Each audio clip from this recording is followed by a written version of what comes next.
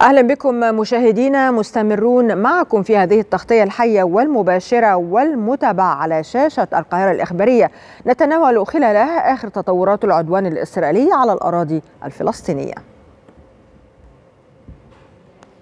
كشف مصدر أمريكي مسؤول موقع أكسيس الإخباري عن اجتماع عقد في العاصمة الفرنسية باريس ناقش إمكانية استئناف مفاوضات المحتجزين. وقد أوضح المصدر أنها تم إحراز تقدم في المحادثات التي أجراها رئيس وكالة المخابرات المركزية الأمريكية مع رئيس الموساد الإسرائيلي ورئيس وزراء قطر. وأن إمكانية تجديد المفاوضات مطروحة ولكن لم يتم تحديد جولة محادثات جديدة على أي مستوى. فيما أكد الموقع الإخباري أن إدارة الرئيس الأمريكي جو بايدن فوجئت بإعلان إسرائيل عن استئناف المفاوضات.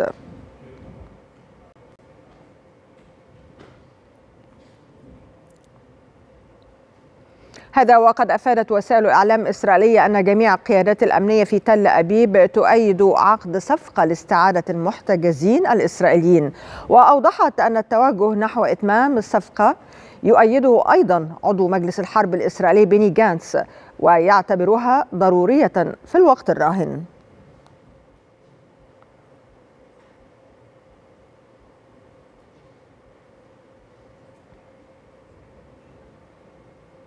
تلقت السلطات الإسرائيلية ثلاث لكمات سياسية ودبلوماسية وقانونية خلال أسبوع واحد وذلك بسبب الهجمات الإسرائيلية الدامية على قطاع غزة.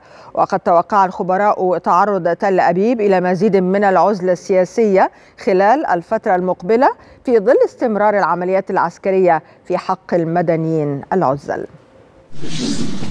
إسرائيل التي دأبت على تجاهل القوانين والأعراف الدولية في عدوانها على الشعب الفلسطيني وخاصة الحرب الحالية على غزة. تلقت خلال أسبوع واحد ثلاث ضربات قوية مثلت لكمات سياسية ودبلوماسية وقانونية للاحتلال.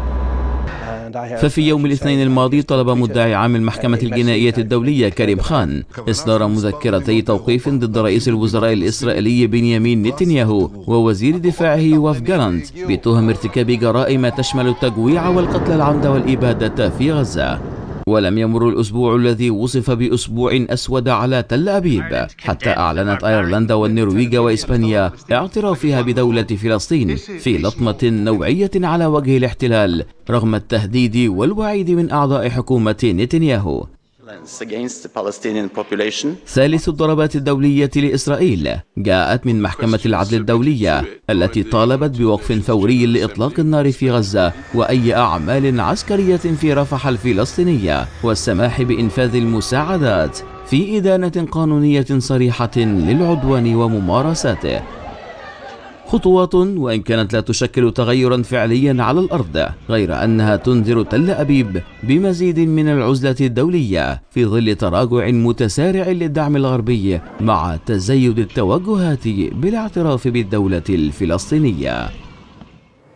وللمزيد من المتابعة المستمرة في هذه التغطية المباشرة لما يجري في قطاع غزة في اليوم المائتين واثنين وثلاثين من العدوان الإسرائيلي على غزة ينضم إلينا من القاهرة الكاتب الصحفي علي السيد. مرحبا بك أستاذ علي. كيف ترى إذا نتائج اجتماع الرئيس الفرنسي مع وزراء خارجية مصر وقطر والسعودية والأردن؟ وهل يمكن توقع المزيد من الأدوار الأوروبية الداعمة للحق الفلسطيني في هذه الفترة؟ تحياتي لحضرتك ولمتابعيك الكرام. الموقف المصري الموقف الفرنسي موقف تطور كثيرا عن بداياته الحقيقة لأنه في البداية كان هناك تشدد فرنسي يتسم يعني الحدة وموقف الحقيقة يتماشى مع الموقف التاريخي فرنسا من دعم إسرائيل دعم مطلق في كل النواحي لكن مع تطور الأحداث ومع ازدياد عمليات الإبادة الجماعية في غزة تغير الموقف الفرنسي وكانت فرنسا يمكن من البلاد الأولى التي طالبت بإيقاف الحرب والتوقف عن المجازر التي تحدث في قطاع غزة.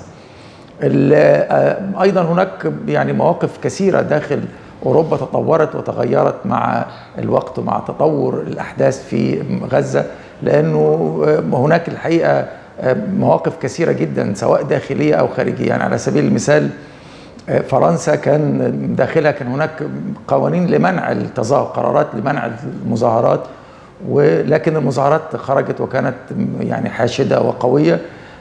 مما جعل يعني تنتشر حالات داخل فرنسا من كراهية وغيره أيضا هناك تذمر في الدبلوماسية الفرنسية وشفنا إنه عدد من سفراء فرنسا في المنطقة أرسلوا رسائل غاضبة للرئيس الفرنسي ومن ثم تغير الموقف الفرنسي إلى حد كبير. الموقف الفرنسي يمكن البناء عليه لأنه بيدعو إلى إنهاء الحرب وإلى حل الدولتين. حل الدولتين هو ما تطالب به الدول العربية وتطالب به المنطقة لأنه الصراع الحقيقة لا يمكن أن يهدأ ولا يمكن أن يتوقف إلا بحل الدولتين إلا أن يكون للفلسطينيين دولتهم المستقلة وفقا لحدود ما قبل 5 يونيو 67 الدول الأوروبية لا تعارض ذلك لكن في الحقيقة هي تدعم إسرائيل بالسلاح وبالمعدات وبالمال وتدعمها علميا واستراتيجيا ده أدى إلى إنه إسرائيل تبقى يعني في المواقف اللي هي فيها حاليا لكن إسرائيل ظلت الحقيقة سبعة أشهر دون أن تحقق أي نتائج سوى التدمير الكامل والكلي لقطاع غزة والإبادة الجماعية والتهجير القسري للسكان. كانت الدول الغربية تتوقع أنه إسرائيل تقضي على حماس في في غضون شهر. حتى الولايات المتحدة الأمريكية كانت تتوقع ذلك ومر الشهر ومرت سبعة أشهر ونحن في الشهر الثامن ولم تحقق إسرائيل هل تعتقد أن هذا هو السبب في لجوء حكومة بنيامين نتنياهو مجددا للجلوس على طاولة المفاوضات حتى يعني في حال عدم أيضا الآن تحديد موعد لاستئناف جولة المفاوضات ولكن هناك انفراجه تبدو من حيث قبول الجانب الإسرائيلي استئناف المفاوضات هل تعتقد أن الأسباب التي قمت بسردها حضرتك يعني تعد هي الأسباب الحقيقية وراء تغير الموقف الإسرائيلي بالإضافة أيضا إلى الضغوط الدولية على حكومة نتنياهو؟ يعني بالتأكيد أنه الضغوط الدولية تؤتي ثمارها والضغوط الداخلية أيضا تؤتي ثمارها والفشل على أرض المعركة يؤتي ثماره. كل هذا ضيق الخناق على نتنياهو وعلى حكومته وجعل الخروج من هذا المأزق الخطير الذي وضعت نفسها إسرائيل فيه لا يمكن أن يأتي إلا عن طريق المفاوضات. إسرائيل حشدت يعني كل قوتها من أجل تحرير الرهائن كما أو الأسرى كما قالت. ولم تستطع أن تحرر أحد بل حررت جثث. وهذه هي النتائج الطبيعية. ماذا فعلت عندما دخلت برفع غير قتلت أعداد كبيرة وضخمة من الأبرياء نساء وأطفال وشيوخ؟ لم تفعل أي شيء. ماذا فعلت عندما سيطرت على المعبر من الجهة الفلسطينية؟ زادت من المجاعة الموجودة في غزة. زادت من حربها حرب التجويع على الشعب الفلسطيني. ليس هناك مخرج للحكومة سوى التفاوض. والتفاوض هو الحل الوحيد لإنهاء هذه المعركة التي تتورط فيها إسرائيل يوما بعد يوم. نعم. وتصبح في عزلة وتصبح مدانة دوليا وتصبح يعني بين محكمة الجنايات وبين محكمة العدل الدولية.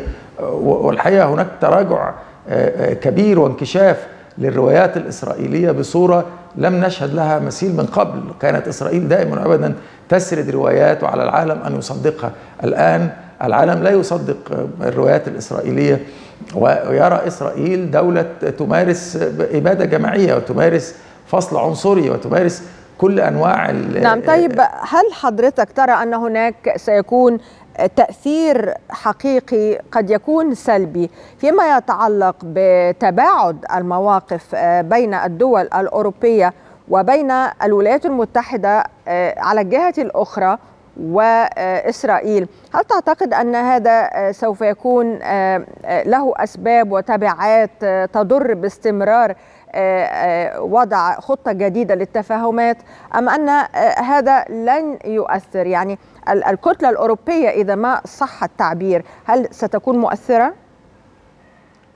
الكتلة الأوروبية بالتأكيد مؤثرة لأنها كتلة ظلت داعمة لسنوات طويلة جدا لإسرائيل وهي من خلقت إسرائيل وأوجدتها صحيح أنها أصبحت في الرعاية الأمريكية فيما بعد ذلك لكن هي كتلة مهمة المساعدات التي تقدمها أوروبا أوروبا اتخذت مواقف متقدمة إلى حد كبير جدا. يعني عندما نرى ألمانيا تقول أنها ستعتقل رئيس الوزراء الإسرائيلي ووزير الدفاع إذا ما أصدرت المحكمة محكمة المحكمة الجنائية الدولية أمرا باعتقالهم. ده يعني موقف متقدم جدا لأنه ألمانيا دائما وأبدا لديها مشكلة في التعامل مع إسرائيل. هي مع إسرائيل إلى أبعد الحدود بسبب التهم السابقة للحرب العالمية الثانية تهم يعني الهولوكوست وغيره. الموقف الأوروبي أصبح موقف أكثر وضوحا أكثر قوة وده بيضع الجانب الأمريكي في حرج. أمريكا على سبيل المثال كانت تقف ضد احتلال رفح ضد اقتحام رفح. وحدث إنه الامريكان الإسرائيليين لم يستجيبوا. نعم. ودخلوا رفح الآن المحكمة توقف الحرب محكمة العدل الدولية توقف الحرب. هل إسرائيل هل أمريكا ستستخدم الفيتو؟ هذا أمر يضع أمريكا أمام يعني موقف صعب جدا وصعب للغاية. ماذا تتوقع في هذا الصدد حضرتك؟ يعني هل تعتقد أن تبدأ الولايات المتحدة الأمريكية في في التعاطي مع المعطيات الحالية والواقع الحالي الذي فرض نفسه على الرغم من أنه مغاير لرغبة الولايات المتحدة الأمريكية وأيضا رغبة الحكومة الإسرائيلية. هل سوف تنصاع أو ب ب يعني بتعبير آخر؟ لن تنصاع ولكنها سوف تتماهى مع ما يحدث الآن. أم أنها سوف تظل مصرة على موقفها وعلى دعمها اللامشروط لتل أبيب حتى لو كانت تل أبيب قد وضعتها الآن في موقف محرج للغاية أمام العالم. هناك إشكالية قانونية إذا كانت الولايات المتحدة الأمريكية تهاجم الجنائية الدولية لأنها ليست عضوا فيها إلا أنها عضو في محكمة العدل الدولية. ومحكمة العدل الدولية قراراتها نافذة وينبغي تطبيقها. إذا ذهبت إلى مجلس الأمن وهي في طريقها إلى مجلس الأمن ستكون الولايات المتحدة الأمريكية في موقف يعني صعب جدا إذا استخدمت الفيتو. سيكون فيتو غير أخلاقي والحقيقة يضع صورة أمريكا في حرج شديد. أعتقد إنه أمريكا لن تستخدم الفيتو لأنه هو هذا الحكم أو هذا القرار يتماشى تماما مع رغبة أمريكا في عدم اقتحام رفح أو عدم احتلال رفح منذ البداية عارضت ومؤخرا يعني وزير الخارجية الأمريكي قال إنه ما زال راينا ما زلنا عند رأينا في التوسع نعم. في طيب رفح. في حال ونحن يعني الآن الشهور تجري وسوف تدخل الولايات المتحدة الأمريكية في انتخابات مرحلة الانتخابات الرئاسية في حال تغير هذه الإدارة الأمريكية كيف تتصور أن يكون الوضع في هذه الحالة؟ هل سوف تتغير السياسة الأمريكية بأكملها أم أن هذه السياسة المتبعة تجاه تل أبيب سوف تستمر على نفس الوتيرة بنفس وجهات النظر بنفس الأدوات؟ الإدارات الأمريكية المتعاقبة بتعتبر إسرائيل وكيل لها في المنطقة. هذا جانب، الجانب الآخر أن اللوبي الصهيوني لوبي مؤثر للغاية في الانتخابات الأمريكية سواء انتخابات الكونجرس أو الانتخابات الرئاسية. وما زال هذا التأثير طاغي الحقيقة وبيتحكم تحكم كبير في السياسة الأمريكية. من الصعب أن نجد تغيرا تجاه إسرائيل يعني يكاد يكون مستحيل لكن هناك أمور قانونية لا ينبغي أن تتجاوزها الولايات المتحدة لأنه هذا يهز صورتها كثيرا أمام العالم. وأعتقد إنه لدى الولايات المتحدة الأمريكية الآن داخليا وخارجيا مشكلات كبيرة لأنه الرأي العام في الولايات المتحدة الأمريكية لم يعد خاضعا للرؤية الصهيونية لم يعد خاضعا للإعلام الصهيوني.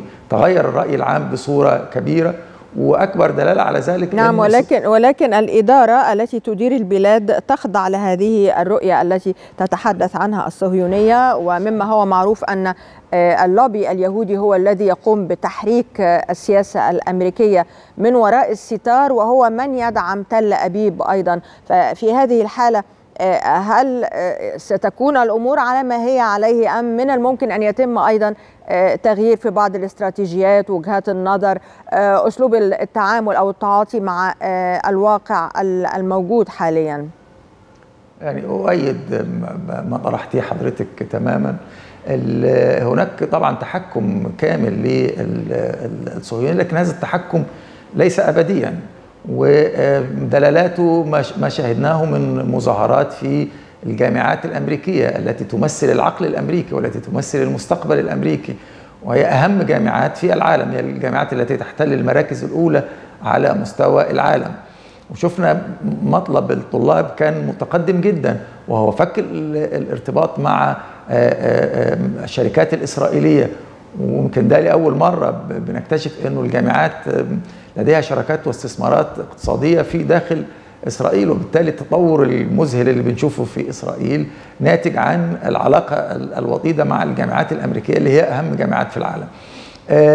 الموقف الأمريكي الشارع بيضغط وأظن إنه مع الوقت لكن مع وقت ممكن أن يطول سيتغير لكن حتى الآن لا يوجد تغير في النظرة لهذا الصراع وأن يكون هناك عدالة في نظرة الولايات المتحدة الأمريكية إلى هذا الصراع نعم. أعتقد أنه استطلاعات الرأي اللي يعني دفعت بترامب إلى الأمام يمكن أن يكون جزء منها تصويت عقابي ضد بايدن نعم. لأنه المواقف الإدارة الأمريكية الحالية مواقف غريبة لأنه شفنا تصريحات متناقضة ومتعارضة على سبيل المثال أنهم يقفوا ضد احتلال رفح واحتلوا رفح ولمجرد أنهم منعوا شحنة قنابل من من ذات الثقل الكبير يعني هاجت الدنيا وإسرائيل اعترضت وغيره. المحكمة الجنائية الحقيقة بتتعرض لحملة شرسة من الولايات المتحدة الأمريكية ومن الكونجرس الأمريكي. هناك تهديدات صريحة لقضاة المحكمة في سابقة خطيرة من الولايات المتحدة الأمريكية انه يفترض انها دولة قانون ودولة مؤسسات على الأقل نعم. حتى لو لم تكن عضوا في هذه المحكمة ينبغي أن تحترم أحكام القضاء سواء نعم. كانت قضاء دولي أو حتى قضاء هل الدول هل عندما تطرح دولة المؤسسات أو الولايات المتحدة الأمريكية ليست كإدارات متعاقبة وإنما كرؤية راسخة للدولة نفسها للولايات المتحدة الأمريكية هل عندما تطرح رؤى واستراتيجيات وخطط تتعلق بها وبمنطقة الشرق الأوسط والعالم هل هذه الخطط تعد خطط صماء أم أنها من الممكن أن يتم تغييرها عندما تحدث تغيرات في العالم وخاصة أن التغيرات متسارعة مستجدات لأن الأمر يعني هل يتعاملون معه بطريقة صماء بطريقة يشوبها الجمود مثلا؟ هي الحقيقة أنه الولايات المتحدة الأمريكية عندما يعني نتحدث عن العلاقة بينها وبين إسرائيل تبدو لنا الأمور وكأنه إسرائيل هي التي تحكم أمريكا وليست أمريكا هي التي تحكم إسرائيل. هذه نقطة مهمة حتى الإعلام الأمريكي في أوقات كثيرة جدا بيكون مسخر للرؤية الإسرائيلية. معروف تاريخيا إنه هناك تحكم من الصهيونية في الإعلام الأمريكي، دائما وابدا هناك توجه والإعلام الأمريكي تحت ضغط هذا التوجه يقع في أخطاء مهنية فادحة، يفترض أنه على الأقل خالص لا يقع فيها مثل هذه الأخطاء حتى لو كان عنده توجه ما أو وجهة نظر ما لكنه يقع في أخطاء فادحة من أجل الاستجابة للضغوط التي تمارس نعم. عليه. نعم. الشارع الأمريكي الآن مختلف. وده اللي ممكن يتم الرهان عليه في المستقبل إنه يعني وجهة نظر أمريكا أو دورها في المنطقة وفي غير المنطقة يمكن أن يكون دور أفضل كثيرا. يعني هذه نعم. التدخلات الكبيرة وهذا الدعم اللامتناهي والمستمر بالعتاد والمال و... وكل شيء يمكن أنه يتراجع في السنوات المقبلة. لكن في اللحظة الراهنة لا هذا الرئيس ولا ذاك الرئيس أو هذه الإدارة أو تلك نعم. الإدارة يمكن أن شكرا. تكون مختلفة. شكرا لحضرتك شكرا جزيلا. كنت معي من القاهرة الكاتب الصحفي علي السيد. شكرا لحضرتك. شكرا لحضرتك. شكرا. وحول تداعيات قرار محكمة العدل الدولية ينضم إلينا من العاصمة الأردنية عمان الدكتور محمود الخربشة وزير الدولة الأردني السابق للشؤون القانونية. مرحبا بك دكتور. دكتور كيف قرأت إذن محكمة العدل الدولية في قراراتها؟ كيف قرأت هذه القرارات الخاصة بوقف إسرائيل عملياتها في رفح الفلسطينية؟ وكيف سيساهم ذلك أيضا من وجهة نظرك في حلحلة الأزمة في غزة؟ آه شكرا ستي. يعني الحقيقة آه هذا القرار قرار غير مسبوق وقرار ولو أنه جاء متأخرا لكنه يحقق العدالة ويؤكد أن هنالك من ينشد العدالة على امتداد مساحات العالم بغض النظر عن العنجهية وكافة اللغات الأخرى التي تم استخدامها من قبل الكيان الصهيوني. الحقيقة هذا يؤكد أن محكمة العدل الدولية لديها من الأدلة ما يكفي أن غزة قد ارتكبت فيها حرب إبادة جماعية وتم تدمير 70% من بنيتها التحتية. نعم. معك دكتور. هل هل ما زلت تسمعني؟ يعني على ما يبدو بالفعل أن يعني هذه الأحكام دكتور ستكون يعني ضاغطه ضاغطة بشكل كبير على الحكومة الإسرائيلية وربما تكون نقطة تحول في المستقبل القريب. لأننا نرى بعض التغيرات حقيقة في في الموقف الحالي الإسرائيلي وخاصة فيما يتعلق بالعوده إلى التفاوض على الرغم من أن لا يوجد إلى الآن لا يوجد موعد محدد للعودة للجلوس على مائدة المفاوضات أو استئناف المفاوضات بشأن تبادل الأسرى والمحتجزين إلا أن هناك انفتاحا من قبل الحكومة الإسرائيلية. اسمح لي دكتور يعني يوجد خبر عاجل الآن أيضا على الهواء نقلا عن نائب المستشار الألماني بأن إسرائيل قد تجاوزت كل الحدود وأن المجاعة ومعاناة الفلسطينيين والهجمات أيضا في قطاع غزة تتعارض مع القانون الدولي وربما هذا يعد أيضا من الآثار الإيجابية التي تركتها الأحكام والمواقف الدولية في الفترة السابقة. هل تسمعني ما زلت دكتور؟ نعم نعم نعم طيب تستطيع أن تستكمل حديثك ونود الحديث أيضا عن الإجراءات القانونية التالية لقرارات المحكمة يعني عندما تأمر المحكمة بوقف الحرب هذا يؤكد أن هنالك مجازر وإبادة جماعية قد ارتكبت وأن هنالك من الأدلة ما يكفي للإدانة. هذه ناحية. الناحية الثانية أيضا عندما تأمر المحكمة أن يتم فتح الطريق وفتح معبر رفح لإدخال الإمدادات والإغاثة الإنسانية والدوائية والغذائية والكسائية أيضا هذا يؤكد أن هنالك حالة حصار خلافا لأحكام القانون الدولي وخلافا لأحكام اتفاقيات جنيف وتحديدا الاتفاقية الرابعة ولميثاق الأمم المتحدة. وأيضا عندما تأمر المحكمة بضرورة السماح لأي لجنة تقصي حقائق أو لجنة تحقيق بالدخول لكي تحقق فيما إذا كان هنالك حرب إبادة جماعية أو مجازر قد ارتكبت هذا يؤكد أن محكمة العدل الدولية كجهاز تابع للأمم المتحدة يطلب تحقيق العدالة ويؤكد أن هذه المخالفات وهذا القرار لم يأتي اعتبارا نعم ولكن يعني عجز المجتمع الدولي بكل أسف يؤثر على نعم. قرار محكمة العدل الدولية فيما يتعلق بمسار المقاضاة وأيضا يعني يشكك في مصداقية هذا النظام العالمي يعني كيف ترى هذا الأمر؟ يعني صحيح صحيح أن النظام العالمي على المحك والآن لابد أن يكون هنالك جدية في التعامل مع هذا القرار خاصة أن هذا القرار صادر عن أعلى مرجعية قضائية تابعة للأمم المتحدة. وبالتالي هذه المحكمة تتمتع بدرجة كبيرة من النزاهة والحياد والاستقلالية.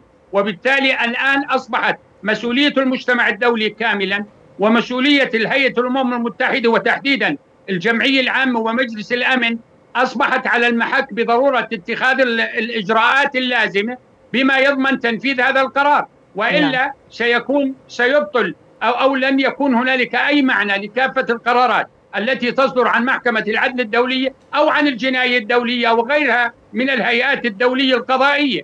وهذا طبعا سيؤثر على السلم والأمن العالمي وسيترك آثار سلبية وضارة على المجتمع الدولي بحيث أن آه لغة العنف والقوة ومخالفة القانون هي التي تسود ويكون هنالك مقياسين ومكيالين للتعامل نعم. مع قضايا يعني فيما يتعلق بال... بال... بالمكيالين الآن يعني إلى أي مدى ترى بأن أزمة غزة وحرب غزة والإبادة الجماعية التي تمارس على غزة إلى أي مدى ترى دكتور أنها كاشفة لحقيقة المجتمع الدولي لحقيقة المنظمات والمؤسسات الدولية التي أنشئت من المفترض لتدعم القانون وتقوم بإرساء العدالة وحماية حقوق الإنسان والقانون الدولي والقانون الدولي الإنساني وكل هذه المسميات التي تبدو كبيرة جدا. إلى أي مدى تم كشف الحقائق وكشف الستار عن هذه المؤسسات والمنظمات وكيفية التعامل معها بازدواجيه في المعايير من قبل؟ الدول العظمى وخاصة الولايات يعني المتحدة الأمريكية. يعني الحقيقة قرار محكمة العدل الدولي الخاص برفح والذي جاء بناء على طلب حكومة جنوب أفريقيا يؤكد أن المجتمع الدولي كما قلت ومنظمة الأمم المتحدة ومجلس الأمن على المحك باعتبار أن مجلس الأمن هو الجهة المعنية بالحفاظ على السلم والأمن الدوليين وإذا اختل السلم والأمن الدولي في أي منطقة من العالم بحيث يؤثر على السلم والأمن الدوليين في كافة مناطق العالم هذا يستدعي أن يتحرك مجلس الأمن وأن يضع حدا لكل المخالفات ولكل المجازر المرتكبة ولو اضطر إلى استعمال القوة لأن الفصل السابع من ميثاق الأمم المتحدة يعطي لمجلس الأمن صلاحية اتخاذ كافة التدابير اللازمة نعم. بما فيها صلاحية استعمال القوات لكي يحافظ على السلم والأمن الدوليين يعني الحقيقة القرار كشف الكثير من الأخطاء والسلبيات في التعاطي مع القضية الفلسطينية وتحديدا مع قضية غزة. وبالتالي هذا كشف زيف الادعاءات وكشف أيضا وجود معايير مزدوجة ومقاييس مختلفة عندما يتعلق الأمر بإسرائيل يختلف نعم. عما يتعلق الأمر بغزة أو باهلها فعلا دكتور. وبالتالي المجتمع الآن فعلا دكتور. طيب دكتور. إلى أي أن مدى؟ يعمل على تنفيذ هذا القرار. صحيح يا دكتور. طيب إلى أي مدى يؤثر من وجهة نظرك اعتراف إسبانيا، نرويج، أيرلندا إلى أي مدى يؤثر اعترافهم بدولة فلسطين على حظوظ الفلسطينيين في الحصول على العضوية الكاملة في الأمم المتحدة؟ يعني الحقيقة سبق وكان هنالك 123 دولة من 100 من 194 قد وافقت على الاعتراف بدولة فلسطين ولكن آه كما تذكرين أن الولايات المتحدة الأمريكية كانت قد استخدمت النقض أو الفيتو في مجلس الأمن مما أعاق إصدار هذا القرار، الآن الحقيقة الأمور وضعت على المحك وبعد أن تكشفت كافة الجوانب والحقائق أصبح المجتمعات أصبحت المجتمعات المجتمعات والمجتمع الدولي على المحك أيضا بأن يتخذ القرار المناسب بما يحقق العدالة للشعب الفلسطيني، الشعب نعم. الفلسطيني هناك قرارات أممية 2 4 2 3 3 8 وهنالك قرار سابق أيضا 194 صحيح. لم يتم تنفيذها وهذه القرارات تؤكد على حق الشعب الفلسطيني بإقامة دولته المستقلة على حدود الرابع من حزيران لعام السبعة والستين وبالتالي المجتمع الدولي وكل من لديه ضمير أو أخلاق أو إحساس بالعدالة يفترض أن يناصر الشعب الفلسطيني نعم. وأن يناصر غزة وصولا لإنهاء العدوان وإنهاء حالة الحرب والإبادة ووصولا أيضا إلى تمكين الشعب الفلسطيني من ممارسة سيادته على أرضه نعم يعني بالفعل دكتور يجب الانتصار للإنسانية وللقانون خاصة نعم. إزاء هذه المقتلة الكبيرة المثيرة للاشمئزاز حقيقة التي تحدث في غزة الاتحاد الأوروبي طيب دكتور يدرس إمكانية إرسال بعثة حدودية إلى رفح وكذلك القمة العربية في البحرين اقترحت بعثة أممية أيضا يعني أن يتم إرسال بعثة أممية. ما هي إمكانية تطبيق ذلك؟ وما هو المأمول أيضا في حال نشرها؟ يعني أنا أعتقد أن قرار محكمة العدل الدولية قد قد فتح الطريق واسعا. للاتحاد الأوروبي وللدول العربية أيضا التي عليها أن تقف إلى جانب الحق الفلسطيني. وبالتالي حتى أمام العالم هنالك آفاق جديدة قد آه، تم آه، تم الإشارة إليها من خلال قرار محكمة العدل الدولية. وأيضا ورد بحيثيات القرار أنه قد يكون هنالك بعض الدلائل والأدلة التي يمكن أن تؤكد وجود إبادة جماعية وحرب إبادة ضد الشعب الفلسطيني. وهنالك أيضا ما يؤكد كما أشرت قبل قليل أن هنالك أكثر من 70% من البنيه التحتية للشعب الفلسطيني قد تم تدميرها. ماذا يعني ذلك؟ هذا يعني أنه لابد أن يكون هنالك آه قرار دولي وإجماع أممي بضرورة دعم الشعب الفلسطيني وإنهاء حالة المعاناة والإرهاب التي تمارس خاصة أن معظم الذين استشهدوا من أبناء الشعب الفلسطيني هم من النساء والأطفال والشيوخ والذين لا علاقة لهم لا بالحرب ولا علاقة لهم ب 7 أكتوبر. هؤلاء يدفعون ثمن نعم دكتور وصلت الفكرة وعلى ما يبدو أن الاتصال أيضا تعذر في نهاية اللقاء. أشكرك. شكرا جزيلا. كنت معي من عمان الدكتور محمود الخربشة وزير الدولة الأردني السابق للشؤون القانونية. اضطر الآلاف من الفلسطينيين إلى النزوح مجددا في مخيم جباليا شمالي قطاع غزة. ويجد هؤلاء الفارين من تجدد القصف الإسرائيلي على المخيم يجدون صعوبة حقيقة في الوصول إلى مكان آمن. خطى كتبت عليهم إلى حيث تحملهم أقدامهم أو ما يجدون من مركبات أو دواب قد تهون عليهم المسير. إلى أين يتجهون؟ سؤال يظل يتردد في أذهانهم طوال الرحلة التي لا يعرفون متى ستكون نهايتها.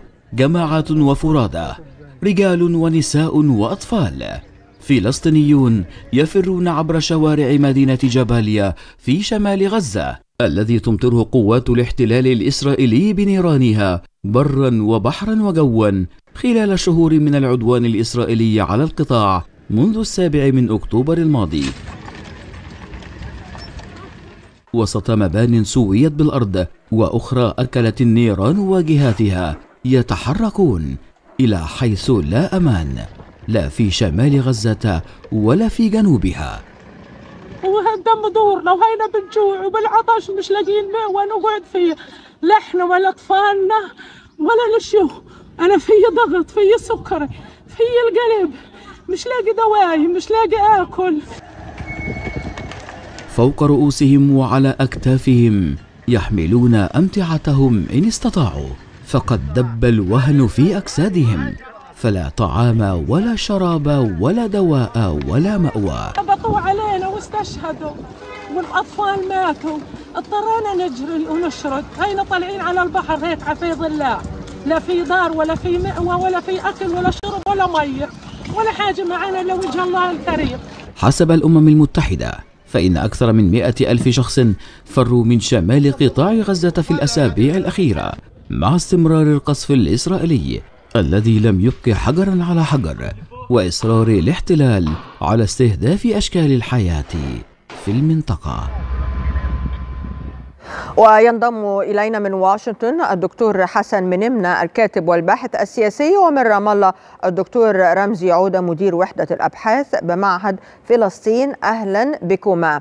البداية معك دكتور حسن ما هي قراءتك إذا لما دار في الاتصال الهاتفي الذي تلقاه الرئيس المصري عبد الفتاح السيسي أمس من نظيره الأمريكي جو بايدن وكان حول تطورات الأوضاع في قطاع غزة؟ سيدتي الكريمة بغض النظر عن تفاصيل الاتصال الموقف الأمريكي من مصر كان ولا يزال واضحا فيما يتعلق بقضية غزة في الحرب الدائرة في غزة. بغض النظر عن تصريح الرئيس الأمريكي بذلك فإن الرغبة الأمريكية كانت بأن تسمح مصر للغزاويين بالدخول إلى سيناء وهذا ما ترفضه مصر رفضا قاطعا. وبالتالي نجد بأن الكثير من المحاولات هي لإيجاد السبل للتحضير لذلك بشكل أو بآخر. نعم الهدف المعلن هو الإغاثة وهو توفير الدعم المادي للغزاويين في غزة ولكن علينا الا نهمل هذا الجانب على الإطلاق رغم الاصرار المصري على رفض ذلك لما فيه تصفية للقضية الفلسطينية ولكن علينا أن ندرك بأن القراءة الأمريكية كانت ولا تزال بأن التدمير الممنهج للقطاع والذي علي أن أشير بأنها هي التي مولته وهي التي مكنته وهي التي قدمت السلاح لتحقيقه. يجعل من الكارثة الإنسانية في غزة غير قابلة للمعالجة موضعيا أي لابد من وسائل أخرى. لذلك رأينا تلك المحاولة التي هي أشبه بالمسرحية فيما يتعلق بالميناء البحري والذي ثبت بأنه لا جدوى منه كما كانت المحاولات السابقة التي أقدمت عليها الولايات المتحدة الاغاثه جوا من خلال رمي المساعدات في حين أن الولايات المتحدة قادرة على إلزام إسرائيل بإدخال المساعدات ولكن هذه النية ليست هنا اذا علينا أن نكون دائما على قدر من الريبه في أي محاولة أمريكية للتواصل مع مصر لأنها تسعى في نهاية المطاف إلى تليين الموقف المصري. نعم يعني حضرتك حقيقة أوجزت بالفعل المضمون في جمل مختصرة ولكنها توجز فعلا المحاولات التهجير إلى سيناء ومحاولات الاسرائيليه للقضاء على البنية التحتية لغزة حتى تكون مكان غير صالح للحياة الأدمية وبالتالي لا يكون هناك مفر من مسألة التهجير بالنسبة للغزاويين الآن إليك إلى رام الله دكتور رمزي. دكتور رمزي يعني مجهودات مصر لا تتوقف لإدخال المساعدات للقطاع ولكن نتنياهو يواصل التعنت. ما هي دلالات الاتفاق الذي تحدثنا عنه الآن دكتور حسن معي؟ وأيضا خاصة أنه يتعلق بإدخال وقود ولو بشكل مؤقت عن طريق معبر كرم أبو سالم. يعني أصبح أولا مساء الخير. أصبح من المستحيل أنه إنه إدخال مساعدات من معبر رفح البديل الأكثر منطقية هو كرم أبو سالم. طبعا ازداد الضغط الدولي على إسرائيل وخاصة الضغط الأمريكي بغض النظر عن نوايا الولايات المتحدة ولكن الولايات المتحدة لا تريد ان أن يظهر أمام العالم فكرة تجويع سكان قطاع غزة والقطاع الادويه فبالتالي هناك ضغط على إسرائيل لفتح المعبر على الأقل للإمدادات الغذائية للأدوية للوقود للمستشفيات إلى آخره من القضايا. أعتقد إنه إنه إسرائيل حتى في قطاع غزة تعيش في مأزق مهم جدا، اولا سياستها في التهجير كما تفضل زميلي وضيفك الكريم باءت بالفشل، حتى مع وجود الضغوط الأمريكية وكذا كانت مصر وقفت سدا منيعا أمام كل سياسات التهجير وهذا موقف تاريخي تشكر عليه مصر وتبجل عليه لأنه كان كانت اتجاه أو نية إسرائيل منذ بداية العدوان هو تهجير سكان غزة إلى سيناء وجعل غزة منطقة فارغة من السكان من أجل إعادة الاستيطان. لكن نعم. الإشكالية الأساسية اليوم اللي إحنا بنعاني منها إنه لا توجد صيغة سياسية ما بعد العدوان. يعني بعض الزملاء أسمها بداية نهاية الاحتلال في قطاع غزة ولكن ما هو شكل اليوم التالي ما بعد العدوان ما هو شكل العلاقة مع الدول الإقليمية ما, ما هو شكل إدارة الحكم في قطاع غزة كل هذه الأسئلة إسرائيل تحاول التهرب منها. اليوم المعضلة الأساسية أمام العالم هو يعني فكرة عدم وجود مجاعة في قطاع غزة. التهرب بالفعل الدكتور رمزي هي عنوان ما يفعله الجانب الإسرائيلي وحكومة الاحتلال. وهو هنا نطرح تساؤل دكتور حسن. حول الرغبة الحقيقية والإرادة السياسية الحقيقية أيضا فيما يتعلق بالعودة إلى المفاوضات وعقد اتفاقات تتعلق بتبادل الأسرى وبإنهاء هذه الأزمة الإنسانية. هل توجد رغبة حقيقية لدى الجانب الإسرائيلي؟ هل توجد إرادة لتنفيذ هذه الرغبة؟ أم هي مجرد مناورات؟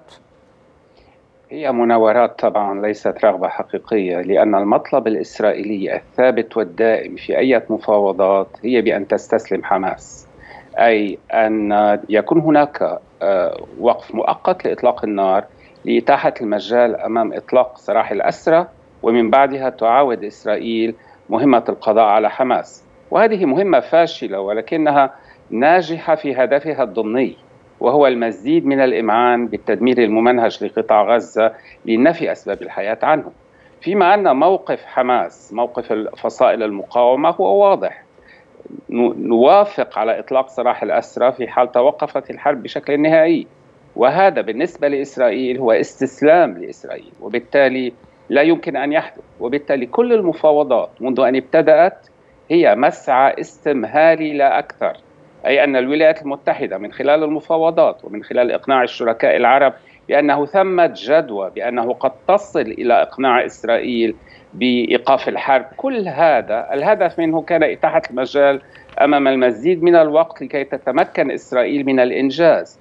وأشدد هنا على أن الإنجاز ليس إطلاق سراح الأسرى وليس القضاء على حماس لأنها عاجزة عن ذلك ولكن الإنجاز هو بضمان أن لا يكون قطاع غزة صالحا للحياة.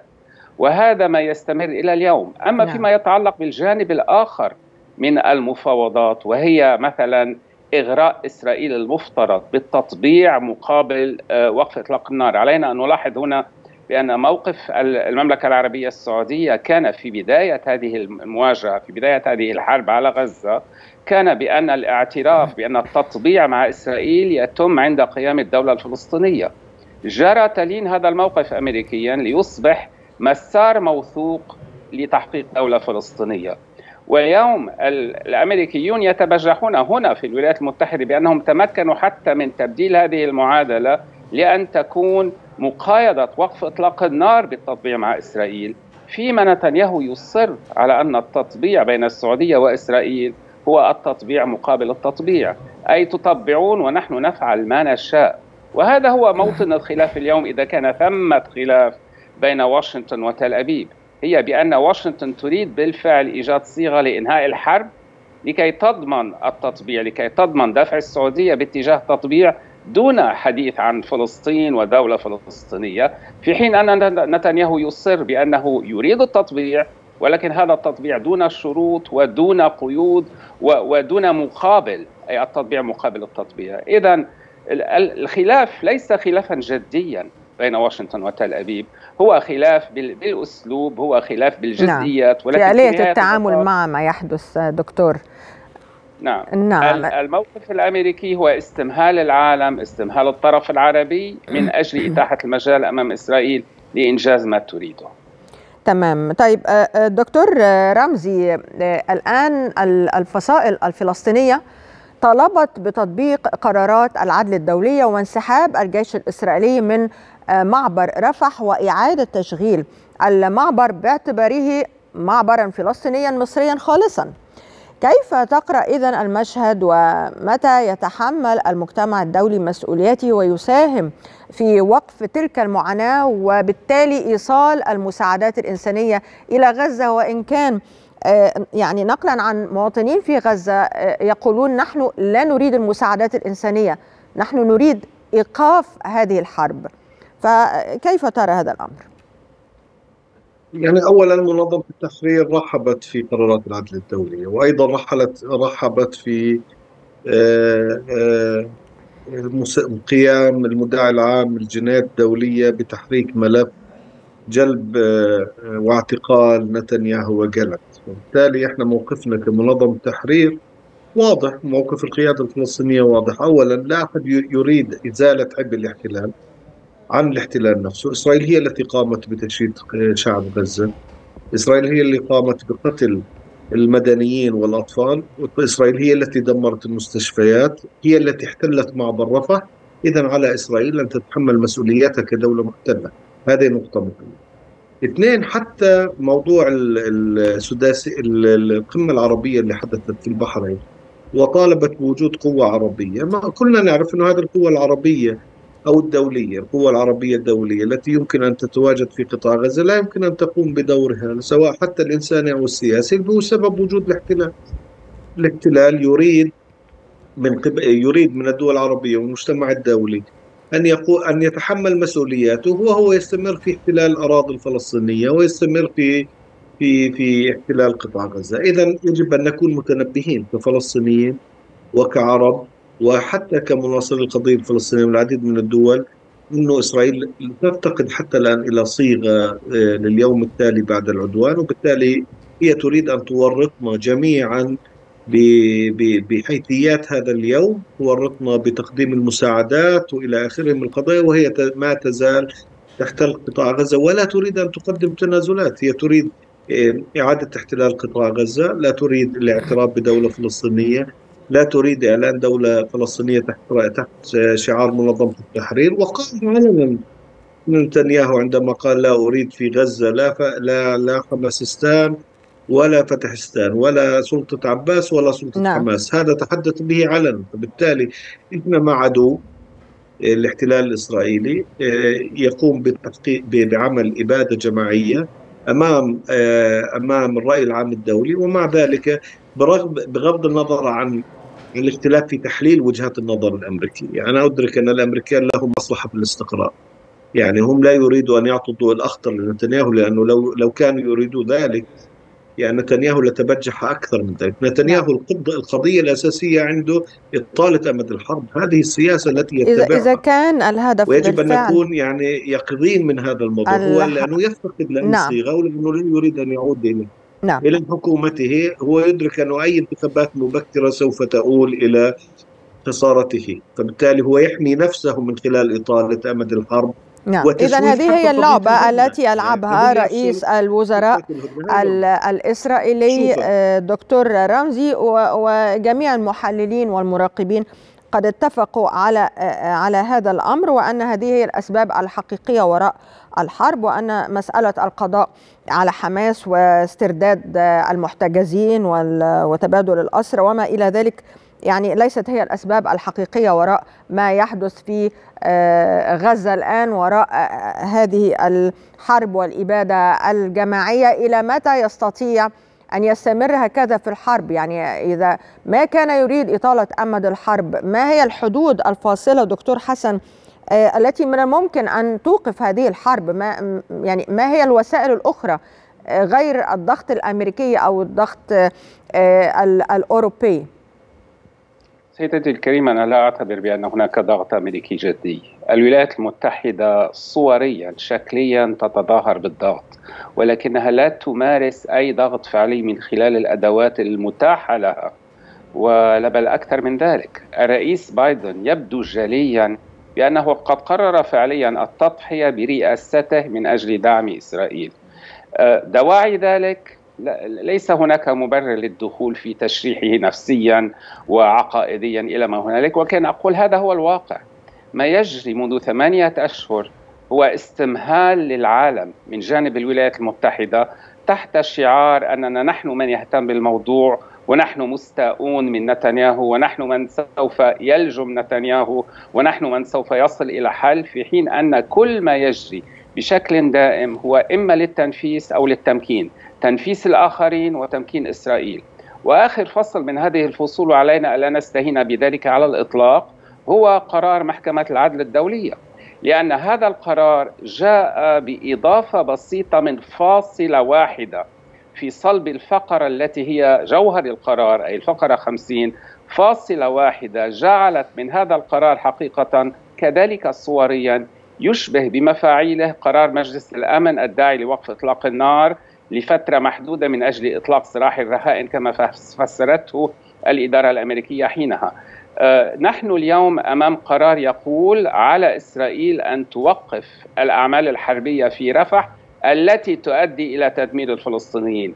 بعبارة من خلال إضافة هذه هذه الفاصلة جعل أصبحت الأعمال الحربية ليس بالمطلق ولكن التي تؤدي إلى تدمير الفلسطينيين نعم. ومن شأن إسرائيل أن تقول بأنه من خلال إرسال المساعدات ومن خلال ترحيل الفلسطينيين من رفح هي لا تعمل على تدميرهم وبالتالي هذا القرار لا فعالية له هذا هو ما سوف يذكر في الأيام المقبلة بعد أن يترك المجال اليوم للابتهاج بهذا القرار من جانب الطرف المؤيد للفلسطينيين في حين أن إسرائيل التي تتظاهر بالصدمة وبالمظلوميه تقدم على ما تقدم عليه في الضفة لأن الضفة هي هي بيت القصيد. مع كل التدمير الممنهج للقطاع يريدون إعادة استيطان الضفة حيث كان هناك بعض المستوطنات غير الشرعية مع الإشارة إلى كل المستوطنات غير الشرعية. أتيح المجال لها الآن والمزيد من التصعيد يجري في الضفة. علينا إذا هنا ألا نفترض بأن هناك ضغط أمريكي هادف إلى إيقاف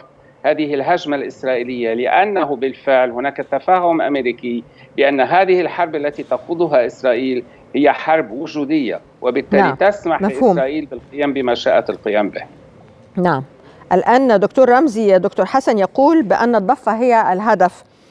وهل ترى إذا ما كانت بالفعل الضفة هي الهدف الحقيقي؟ وهذا بالفعل ما يبدو من خلال المستوطنات كما تفضل بالذكر الدكتور حسن. هل ترى أن فكرة الإمعان في تخريب غزة الإمعان في القتل الإمعان في الهدم هي كلها ما هي إلا محاولات لتحويل الدفة وللفت الأنظار لغزة كي لا تكون هناك آراء تتعلق أيضا بما يحدث في الضفة؟ شوف طبعا الضفة هي الهدف الضفة الغربية أول شيء الإسرائيليين والصهاينة لهم فيها أطماع استراتيجية ودينية واضحة جدا وهذا يعني عملية الاستيطان هي منذ ما قبل أوسلو ولكن ارتفعت وتيرتها والآن استغلوا ما حدث في 7 أكتوبر وزادت وتيرتها ضعفي على ما أعتقد ضعفي عن الاستيطان السابق. اليوم إحنا بنحكي عن 800 850 ألف مستوطن في الضفة الغربية. فعلا. إضافة إلى مشاريع استيطانية تخترق وسط طيب معلش يعني عذرا لمقاطعة حضرتك دكتور رمزي أن حضرتك يعني قلت استغلوا ما حدث في السابع من أكتوبر وهذا الأمر يطرح تساؤل لأن الكثيرين يتحدثون عنه أيضا في حال ما إذا كانت فصائل المقاومة لم تقوم بعمليات السابع من أكتوبر هل كانت الحكومة اليمنية المتطرفة سوف تقدم على فعلتها هذه وسوف تقوم بتنفيذ المخطط تحت أي بند أو ستار آخر؟ وسريعا من فضلك.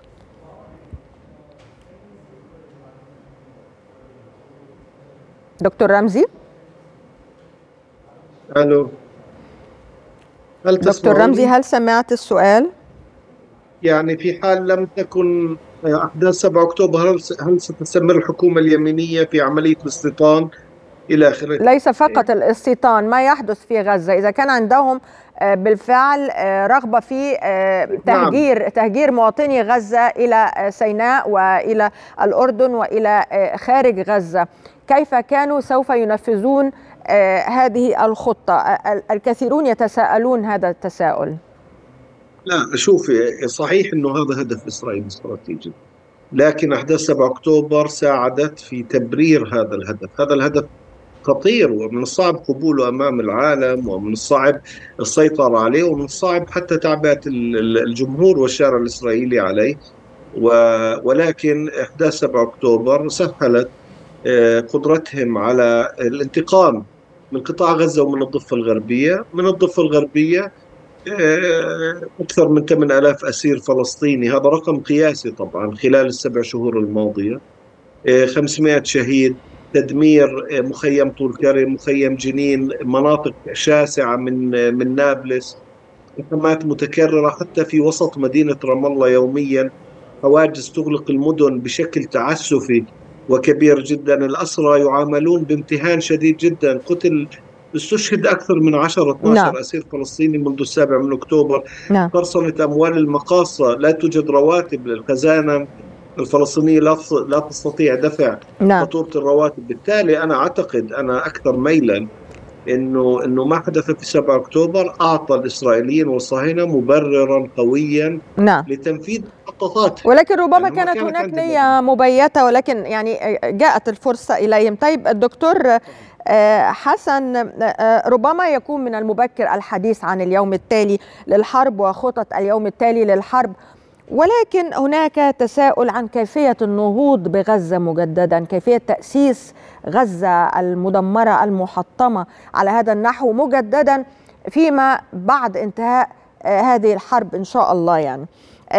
من هو المسؤول عن هذا؟ كيف يمكن أن يتم هذا؟ وخاصة أنه يتطلب يعني مسافة زمنية كبيرة جدا سنوات طويلة وأيضا ميزانيات ضخمة.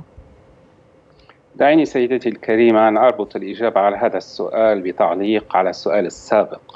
من السابق لأوانه بالتأكيد محاولة قراءة تأثير ما جرى في السابع من تشرين الأول أكتوبر الماضي على مسار الخطة الإسرائيلية. ولكن علينا ألا نهمل على الإطلاق على أنه في الأدبيات الإسرائيلية لا بل في النقاش السياسي الإسرائيلي كان هناك بالفعل مساءلة شديدة للمشكلة الوجودية التي تعاني نعم. منها إسرائيل. نعم سريعا دكتور حسن من فضلك. نعم ضمن فلسطين التاريخية عدد الفلسطينيين أصبح يفوق عدد الإسرائيليين اليهود. نعم. وبالتالي كان لابد من عمل. آه، ي- أن يكون طوفان الأقصى كان المبرر لا ينفي على الإطلاق بأن كان هناك خطط جارية على قدم. وساق وإن على نار خفيفة. اذا من اذا يعني حضرتك لك رأي آخر مغاير للدكتور رمزي وإن كان يعني هناك قواسم مشتركة بين الرأيين. أشكركما. شكرا جزيلا. كنت معي من واشنطن الدكتور حسن منيمنا الكاتب والباحث السياسي. وشكرا أيضا للدكتور رمزي عودة الذي كان معي من رام الله الأمين العام للحملة الأكاديمية الدولية لمناهضة الاحتلال. مشاهدينا نلتقي على رأس الساعة.